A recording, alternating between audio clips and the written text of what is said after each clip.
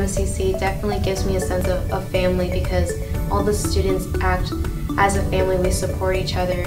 And I don't even know some people, and they still would support me through everything. And the teachers, and make sure to include the Franciscan virtues in everyday classes. And we all know them by heart in their humility, generosity, inclusivity, and integrity.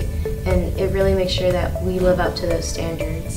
The virtue of inclusivity definitely is at the top because if someone's alone at lunch, we invite them to eat with us. If someone looks sad in the hallway, we give them a smile. Even though if we don't know them, we want to make sure that everyone feels included in our family here at MCC. Another experience that MCC has given me is the idea that I can do what I put my mind to. And I know that I can succeed in college and in my career because I've built a lot of good foundations of study habits and friendships that I can take with me into college.